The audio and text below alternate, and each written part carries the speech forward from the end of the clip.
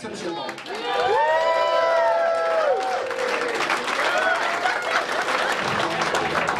Hi there, Gary McCormick here. You probably know this bloke as well. He, uh, forget about him. And the important thing is we're here tonight supporting New Brighton, which is probably one of the most attractive, beautiful places in the entire world.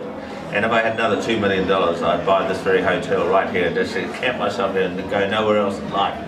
So we actually want to support New Brighton. Are you going to say something? Yeah, no, no, all. Up. No, no, no, shut up. No, shut up. Oh, shut up. I'm oh, dealing okay. with this. We support New Brighton because for a whole host of reasons, I've always lived by the sea. I lived in Titahi Bay, right by the sea, boat sheds, that's what I lived in. I've always spent my life by the sea. This is the perfect by the sea destination here. So we're with Tony and the rest of the crew here. This has to be the number one place in town. Over to you. Yep, well, I don't live anywhere near the sea, but New Brighton, oh yes, this place is happening.